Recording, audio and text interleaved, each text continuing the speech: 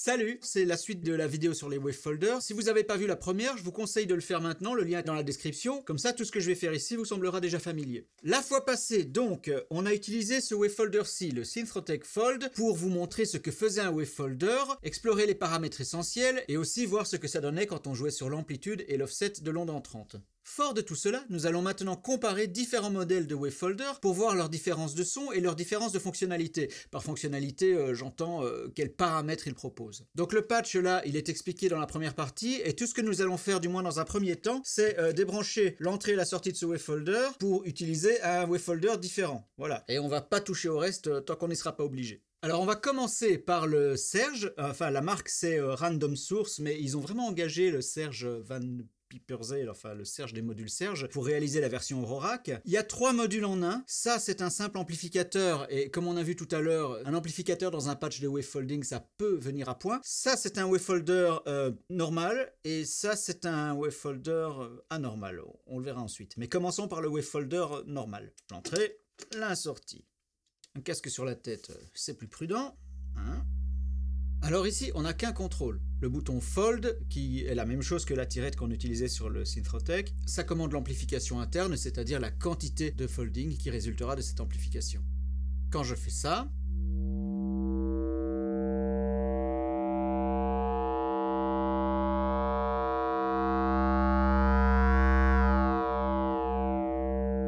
Euh, j'arrive pas à compter combien il y a de plis, mais le nombre de plis est, fixe, hein, on n'a pas de contrôle de ça. Si je dilate un petit peu la, vue de l'oscilloscope, peut-être qu'on peut voir.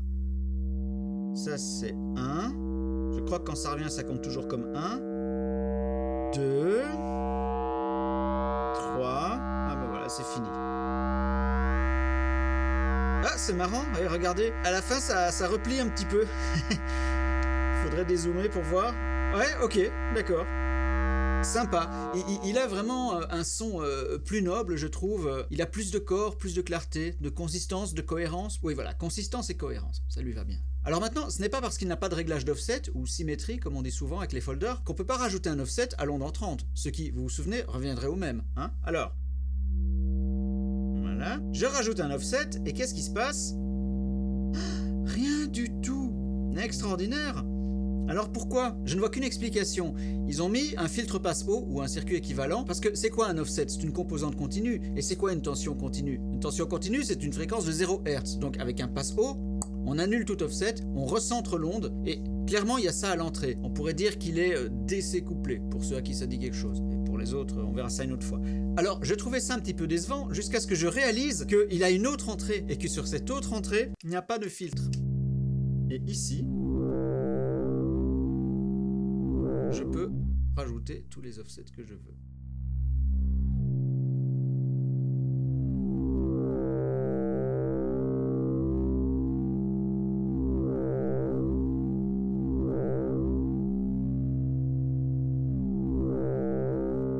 Pareil, si j'augmente l'amplification de l'onde entrante, cela revient strictement au même que de jouer sur le paramètre fold. Hein. On a vu ça dans la vidéo précédente.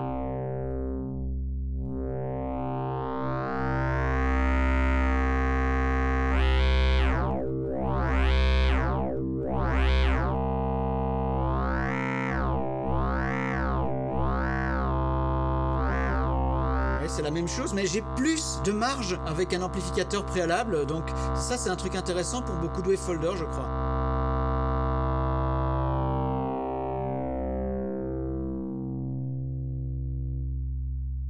Et quand je dis plus de marge, je veux dire que je balaye une plage de réglage plus large. Ça n'a rien à voir avec une marge ou une limite en fait. Et alors j'ai découvert un autre truc en jouant avec euh, ces deux entrées. Vous vous souvenez de ce que j'ai dit sur les ondes carrées, hein, ou les pulses? Passer une onde carrée dans un wavefolder, ça ne donne absolument rien, pour les raisons que j'ai expliquées avant. Démonstration. Alors, je fold. Quoi que je fasse, le résultat sera toujours une onde carrée. Hein eh bien, regardez ce qui se passe quand je rentre mon onde carrée dans la première entrée.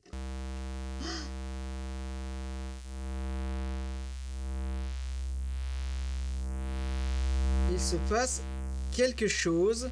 C'est quand même un peu bizarre ce que ça fait. Qu'est-ce qui se passe si j'augmente la fréquence?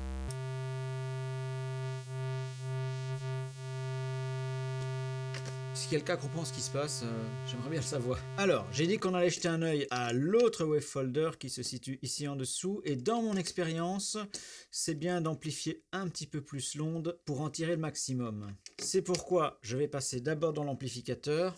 Bref, on se teste ce wavefolder. À propos, euh, j'ai pas touché au deuxième bouton là parce que c'est simplement un atténuverseur sur l'entrée CV et c'est pareil pour ce bouton-ci. On a un seul contrôle, c'est fold.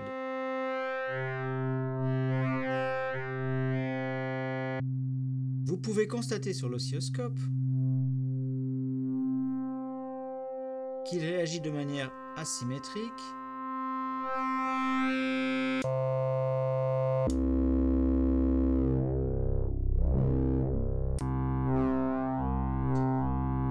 Et donc c'est un wavefolder qui a une courbe de réponse un petit peu particulière, euh, qui donne une couleur différente du premier, plus classique. Qu'est-ce qui se passe si je rajoute un offset? Voilà, il a tendance à l'ignorer comme celui du dessus. Mais si j'entre dans la deuxième entrée, il l'ignore tout autant parce qu'à mon avis c'est l'amplificateur au-dessus qui bouffe l'offset. Il n'y a vraiment pas moyen. Il veut pas, il veut pas les offsets. Bon, il a une deuxième sortie. Sur laquelle c'est une courbe de réponse différente. Donc on a deux wavefolders en un. Voilà, ça c'était le Serge. Maintenant, je propose de s'écouter l'overfolder de VB Modular ou V Brasil. J'ai lu ces deux noms pour cette boîte. Alors ici, on a deux paramètres, enfin trois. Il y a le fameux paramètre symétrie qui est l'équivalent de l'offset là. Et puis on a deux paramètres pour le, folding. On a un qui s'appelle fold et un qui s'appelle over. C'est l'over folder. Donc commençons par euh, ce paramètre-ci.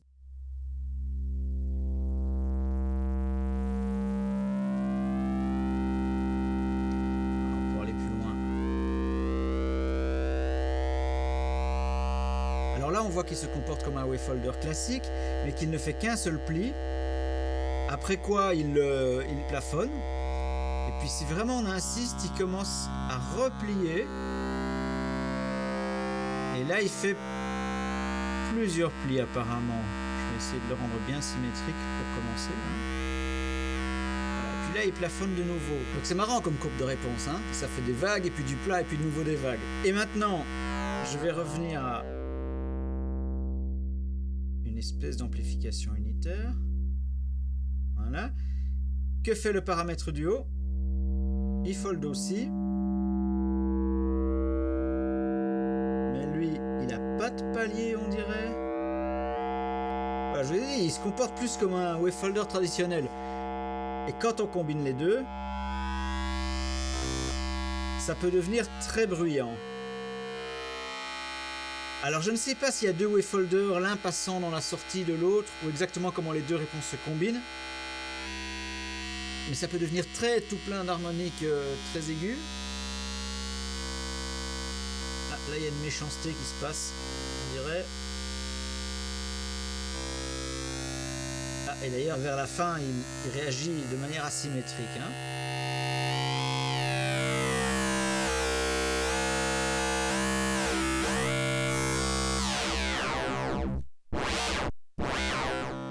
Sais pas si vous entendez comme il peut être crasseux, il y a un petit peu de, souffle, de crachat, il, est assez bruyant. C'est le plus sale des wavefolders que je possède et il est inimitable, irremplaçable je dirais. Alors on n'a pas utilisé son paramètre symétrie, c'est parce que le bouton là il est pété, il marche plus, je sais pas pourquoi. Et donc euh, quand je le tourne, il se passe rien du tout. Alors évidemment ce que je pourrais faire c'est le contrôler en CV à l'aide d'un contrôleur externe comme ce bidule-ci par exemple. Mais c'est même pas nécessaire puisque on a démontré qu'appliquer un offset à l'onde entrante, ça revenait au même que faire varier la symétrie à l'intérieur du wavefolder. Donc, on va écouter comment il sonne en situation d'asymétrie.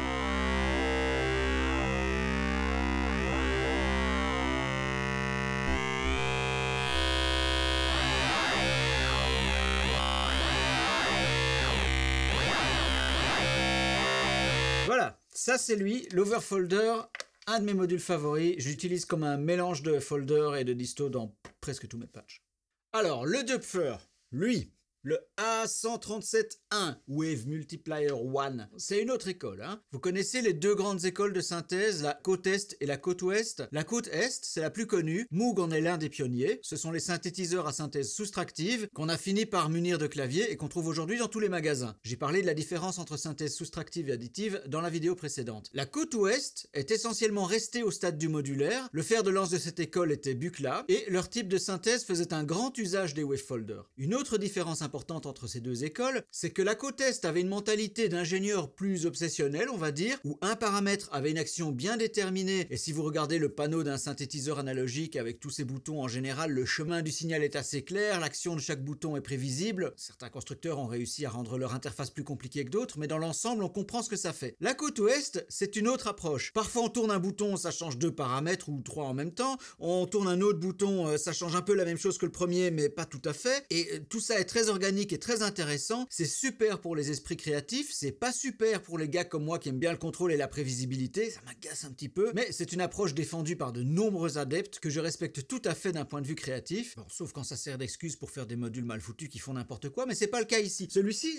c'est un très bon module et il sonne bien, il a des entrées CV sur chaque paramètre, simplement je suis pas la meilleure personne pour vous l'expliquer. Je vais essayer quand même. Hein. Bon alors commençons par ce que je comprends et qui est identique à ce qu'on a déjà vu. Le niveau d'entrée, ça je comprends. Le paramètre symétrique est identique à ce qu'on a vu précédemment et c'est le seul qui fait ce à quoi je m'attends. Vous voyez, c'est comme tout à l'heure. Ça donne la même chose que d'appliquer un offset à l'onde 30. Mhm. Jusqu'ici tout va bien. C'est après que ça devient de la folie. On a un paramètre qui s'appelle multiple, un autre qui s'appelle folding level. Alors j'espérais naïvement que multiple ce soit le nombre de plis et euh, folding level euh, l'équivalent de la tirette ici ou, de l'unique contrôle du Serge qui est un peu le contrôle minimum qu'on attend d'un wavefolder. Mais c'est pas aussi simple. Et puis il y a le paramètre harmonics. On va voir ce qu'il fait aussi. Alors, ma première constatation, c'est qu'il est impossible de récupérer le même sinus qu'à l'entrée, ce qui n'est pas grave en soi. Hein. Mais là, je commence à folder, Oh, bah jusqu'ici, tout se passe d'une manière assez prévisible. Et c'est vraiment juste pour me faire chier, hein, parce que j'ai testé avant la vidéo et j'étais incapable de reproduire le même comportement qu'avec un autre web folder. Et maintenant, juste après vous avoir dit que j'y arrivais pas, j'y arrive. On va s'écouter ça en même temps.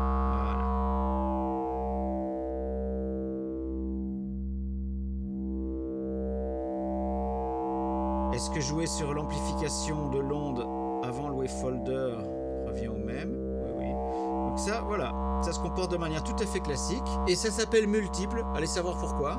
Et maintenant, folding level.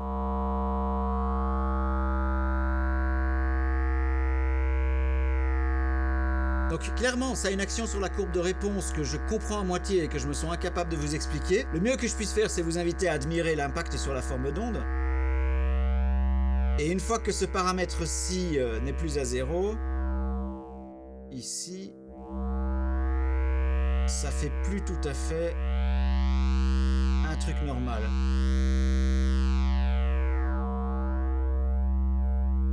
Regardez, sur ce réglage, regardez ce que j'obtiens. Une espèce d'overdrive. C'est vraiment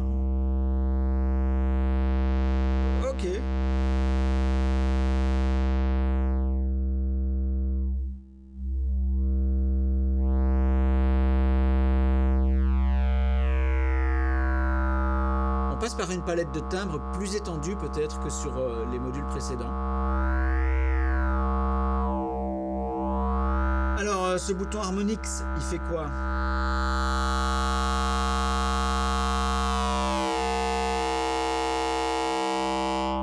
Dans ce cas-ci, il semblerait qu'il rende les sommets de mes crêtes là plus carrés, comme s'il écrétait, qu'il saturait un peu. La forme est un peu plus complexe pour moi qui vois ça de près, mais c'est à peu près ça. Mais ça, c'est ce qu'il fait avec ce réglage-ci, parce que dans cette position-là, par exemple, il va faire quoi? Que dalle. Et dans celle-là... Oui, donc c'est ça. Il amplifie les plis jusqu'à aller les overdriver, les clipper ou en tout cas euh, les aplatir au sommet.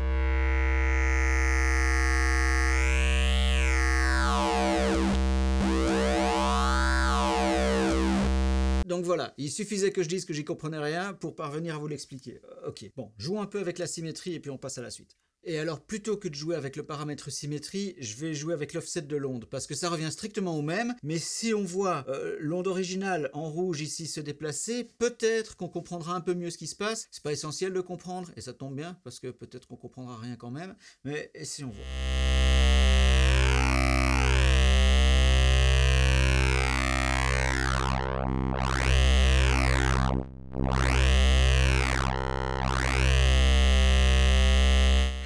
à fait compréhensible en fait ce module. Qu'est-ce que j'ai déblatéré sur Bucla tout à l'heure? C'est pas du tout du Bucla, c'est du Bering. c'est du Dupfer. Bah, il est bien, hein, franchement. Si vous voulez un wave folder pas cher, il est bien. Le fold n'est pas plus cher non plus, ceci dit. Hein.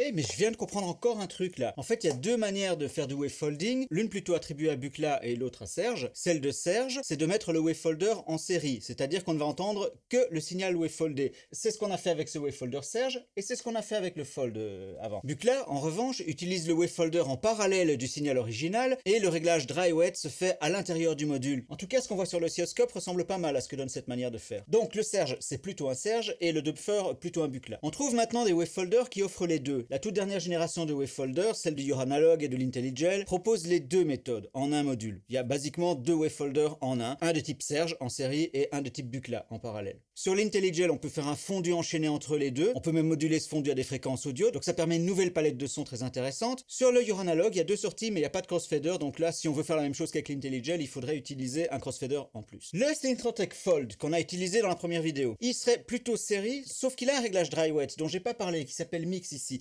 Et ça ne lui donne pas les caractéristiques d'un Bucla parce qu'il y a un petit twist que j'ai d'abord considéré comme une erreur de leur part, mais j'en suis plus si sûr. Et j'avais filmé un court segment là-dessus pour la première partie de la vidéo, enfin la toute première vidéo de la série, que j'avais pas intégré parce que je voulais rester en dessous de 20 minutes, mais maintenant on en est à quoi? La troisième vidéo, si vous êtes encore là, c'est que vous êtes accro, donc je crois que je vais vous montrer ce que donne ce petit bouton, et ensuite on enchaîne sur les, les wavefolders qui nous restent à voir. Ok? Il y a juste un bouton qu'on n'a pas vu, c'est celui-ci en dessous. Il s'appelle Mix et en gros c'est une balance dry-wet. Donc euh, là on entend le signal entrant euh, inaltéré et là on entend uniquement la sortie du wavefolder. Hein, et on peut doser entre les deux. C'est pas mal du tout, ça permet de faire du processing en parallèle euh, sans module supplémentaire. Maintenant il y a un tout petit problème de malfoutage parce que vous vous souvenez, j'ai dit que souvent les wavefolders inversaient l'onde. Regardez, quand on mixe, Bah, il y a un moment où on a une quasi-annulation. Voilà, là on n'a plus que le signal original. Hein. Je vais le mettre au même niveau. Je remixe le wavefolder.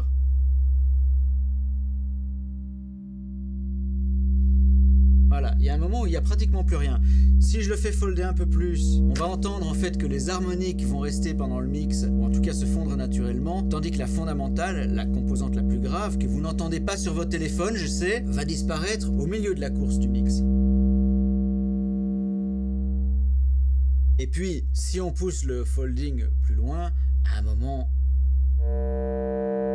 J'allais dire que ça ne fait plus beaucoup de différence, mais on entend quand même la composante la plus basse qui disparaît au milieu du mix.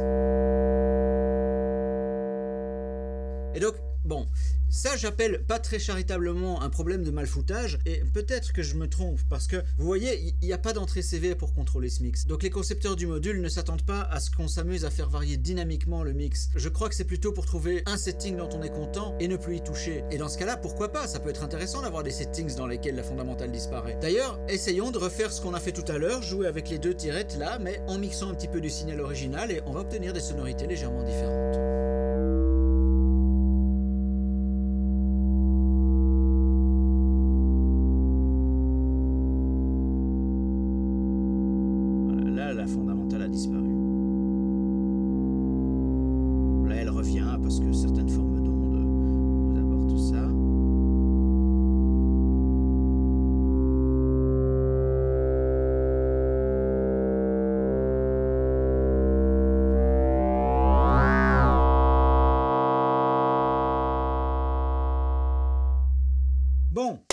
Bon, la suite. On va passer à l'endorphine euh,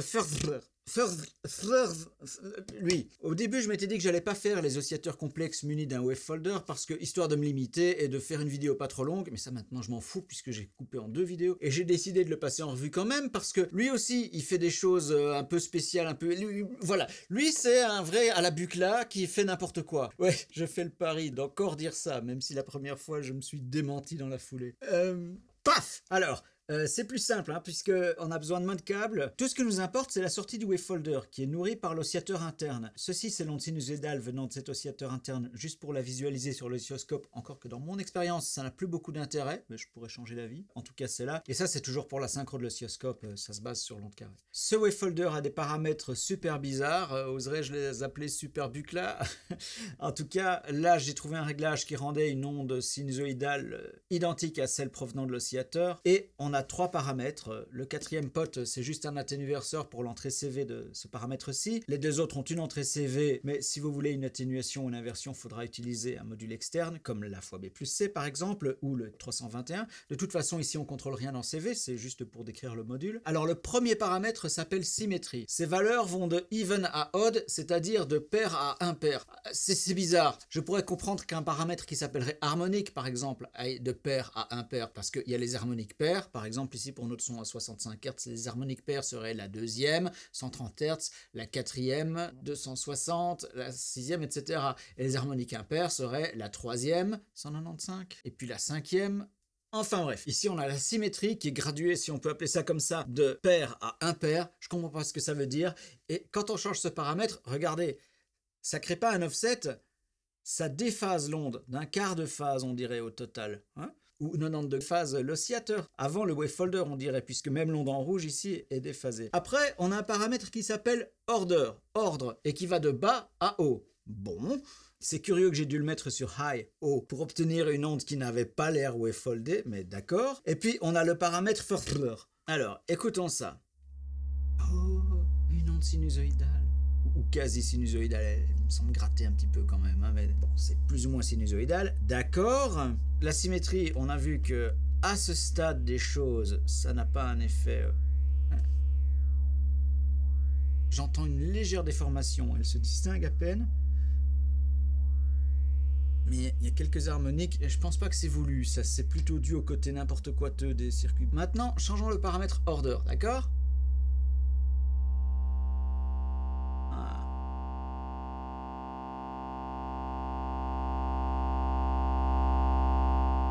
Alors ça, c'est ce qui me semble le plus proche euh, d'un wavefolding, du paramètre qui s'appellerait par exemple fold sur un autre wavefolder. Ça a une courbe de réponse un peu particulière, ok. Là, ça m'a l'air presque symétrique. Qu'est-ce qui se passe si on bouge le paramètre symétrie? Ok. Ça, ça fold juste davantage. Ça n'a rien à voir avec la symétrie. Hmm. Et ça... Oh Regardez un petit peu. Ça, ça gère la quantité de pliage, ok Et on voit que en termes de symétrie, comme on l'appellerait sur un autre wavefolder, ou on l'appelle offset ici parce que souvent on l'obtient par un offset préalable, et malheureusement on peut pas mettre d'offset sur cet oscillateur-ci puisqu'on n'a pas accès au circuit entre l'oscillateur et le wavefolder. Mais bref, ceci ça nous donne un folding, un pliage quasi symétrique, hein, on dirait que c'est un peu décalé vers le haut, qui plie le haut un peu plus tôt que le bas. Ou plutôt c'est décalé vers le bas, parce qu'on dirait que l'onde est en opposition par rapport à l'original. Mais peu importe. Ceci c'est la quantité de pliage. Et ceci, je suis désolé, hein, mais ils font les malins en appelant ça je sais pas quoi, mais c'est juste un fondu enchaîné. Ça, ça, J'en mettrai ma main à couper. J'en suis pas sûr, je peux pas le prouver, mais j'en mettrai ma main à couper. C'est la même chose que ceci. C'est une simple balance entre l'onde sinusoïdale originale et l'onde wave foldée. Regardez, quel que soit le réglage là, ta ta ta ta ta ta ça change rien. On voit toujours l'onde originale. Et là, si vous écoutez bien, à la moitié de la course, la fréquence fondamentale disparaît, le 65 Hz du sinus original. Vous entendez? Ouais. Vous manquez de base de toute façon sur vos haut-parleurs de portable, hein, que je peux rien faire pour vous. Euh,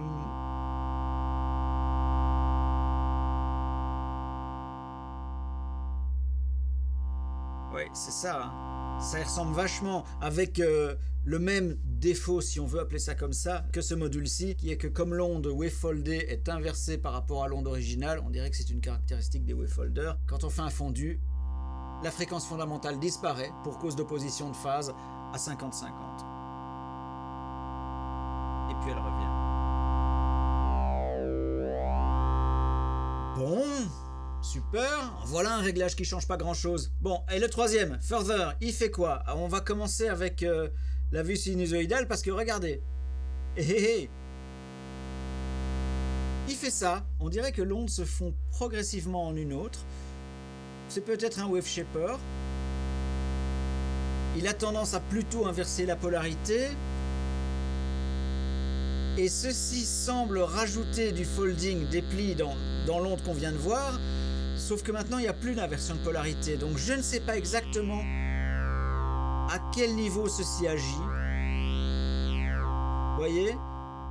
J'aurais tendance à dire que c'est un bête wave shaper avant le wave folder, mais si c'était le cas, pourquoi est-ce qu'en mode sinusoïdal, le wave folding introduit une inversion de polarité? Du moins il semblerait, c'est ce que j'entends à mi-course, alors qu'avec cette forme-ci, il n'en introduit pas. En tout cas, il semble pas en introduire. C'est super bizarre.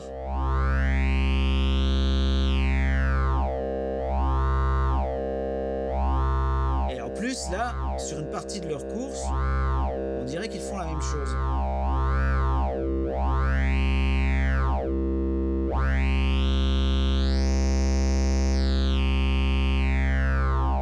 C'est peut-être pour ça qu'il s'appelle Further. Euh, further, ça veut dire plus loin. Euh, en effet, ça va plus loin. Hein. Euh, voilà, d'accord.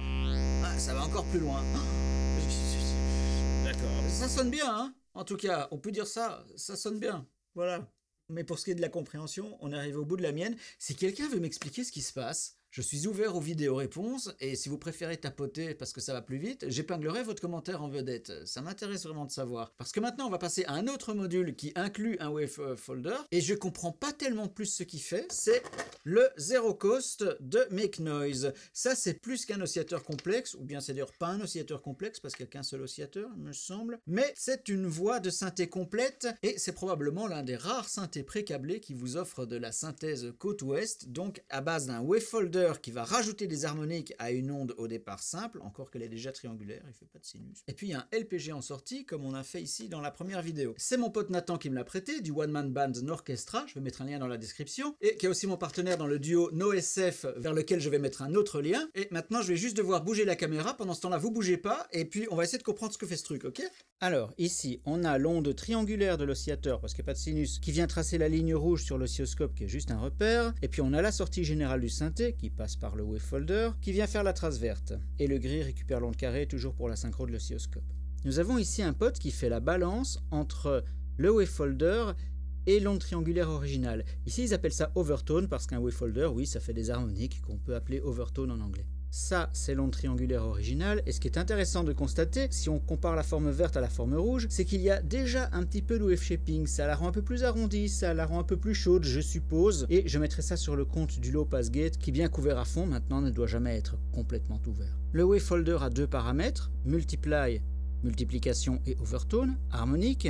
Pour le moment, les deux sont au minimum, et donc ce qu'on obtient, c'est quelque chose d'un petit peu raplati, mais pas encore trop éloigné de l'onde originale. Essayons d'augmenter le paramètre de multiplication. Ceci et ceci, ce sont simplement des atténuateurs de CV, on ne va pas s'en occuper.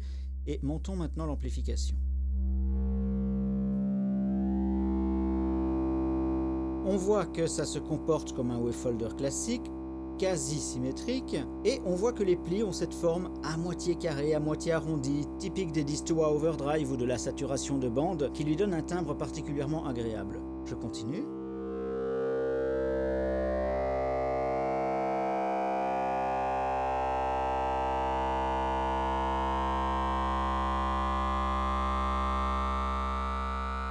Il a une sonorité assez compacte, un petit peu électrique comme ça, que j'aime bien. Et voyons ce que fait le paramètre overtone harmonique, qui a euh, quatre graduations, odd, qui veut dire impair, euh, deux points d'exclamation à l'envers, d'accord Even, qui veut dire pair, et deux points d'exclamation à l'endroit.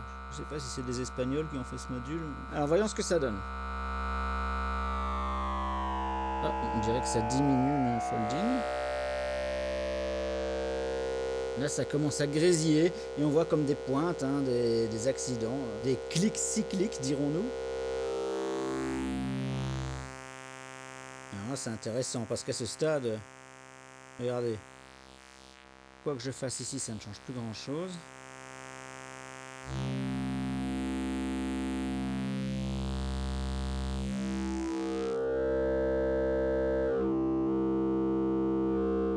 J'essaie de comprendre ce que fait le paramètre overtone, mais... Honnêtement, si quelqu'un comprend, je veux bien qu'il me l'explique. Alors c'est un petit synthé sympa, le no cost, enfin le zero cost, c'est Nathan qui l'appelle no cost, et lui il en tire des petits sons de balles magiques caoutchouteuses comme ça, boing boing, qui sont très sympas, et je vous invite à aller écouter ces albums qui sont liés en description. Et sinon, qu'est-ce qu'il y a d'autre comme Wavefolder Eh bien j'ai eu le Troglodyto Brolotripo, celui-là, là, ce qui était pas mal, c'est que c'était un triple wave folder, un wave folder à trois étages. On avait donc trois wave folders relativement simples en série, et on pouvait l'utiliser comme trois petits wave folders, ou un gros wave folder, ou n'importe quelle combinaison. Je m'en suis séparé parce qu'en termes de son, je trouvais qu'il sonnait un petit peu comme le Serge, mais en moins bien. Et puis, je le trouvais pas simple à utiliser. Bon, à sa décharge, c'était peut-être simplement dû au fait que je débutais en wave folding et que j'avais pas encore ce super oscilloscope. C'est bien quand on apprend une nouvelle forme de wave shaping de voir ce qu'on fait pour un peu comprendre ce qui se passe. C'était pas le cas à l'époque donc peut-être que je suis un peu injuste en disant qu'il était compliqué. Je ne peux plus vérifier ça maintenant. Sinon, c'est impossible de les passer tous en revue. J'aimerais bien essayer un des nouveaux, euh, le Yoranalog ou le Pittsburgh par exemple, qui sont des doubles wavefolders avec deux sorties offrant deux courbes de réponse un peu différentes. On dit qu'ils sont stéréo, euh, ça reste à voir, en tout cas ils sont deux canaux, ça c'est sûr. Et alors j'ai essayé ceci, hein. ça c'est très sympa, mais c'est pas un wavefolder, même si ça s'appelle wavefolder. C'est le D, c'est... Euh, c'est un super wave shaper qui permet de faire des choses très dynamiques, euh, stéréo dans une certaine mesure, et avec certains réglages, en effet, il fait un ou deux plis à la wave folder, mais d'abord il en fait pas plus, et puis c'est pas un wave folder. Il s'utilise pas comme tel, il fonctionne pas comme ça, je le déconseille pas pour autant, hein, mais ne le prenez pas pour ce qu'il n'est pas.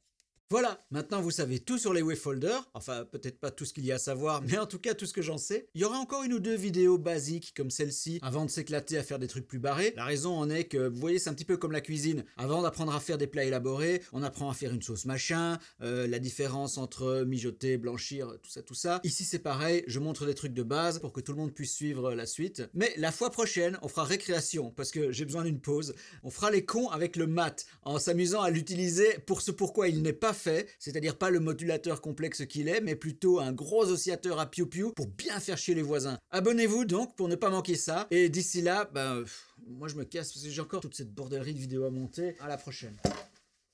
Ah ouais, et puis je vous souhaite de faire beaucoup de bruit quand même, hein